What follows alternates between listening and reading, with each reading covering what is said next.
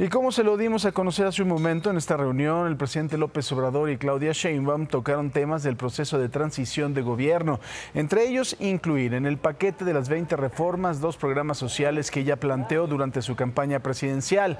Destaca la no reelección, así como la reforma al Poder Judicial. Que no haya reelección, que fue uno de los 100 puntos que planteé aquí en el Zócalo y por otro lado, la reforma constitucional para el Poder Judicial.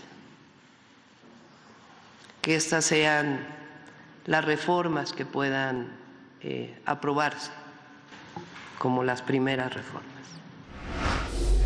Aquí también la virtual presidenta electa de México habló sobre la volatilidad del peso ante el dólar y dijo que no cree que haya un mayor impacto. Hizo hincapié en que el buen capital será clave para beneficiar a los mercados y aseguró que el presidente López Obrador le deja buenas cuentas.